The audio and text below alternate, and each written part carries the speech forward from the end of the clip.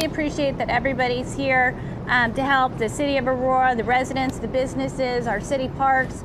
Volunteers lined up this morning to make a difference. With the water now going down, the mess left behind is finally being uncovered, and people are here to help. Anything that you can do, time well spent getting dirty.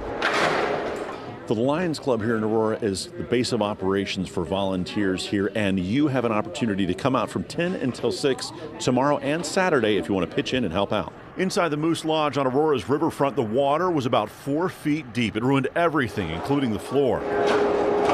Rebuilding and recovery can't start until the mess is cleared away. This whole downstairs has to be gutted and be put right back in.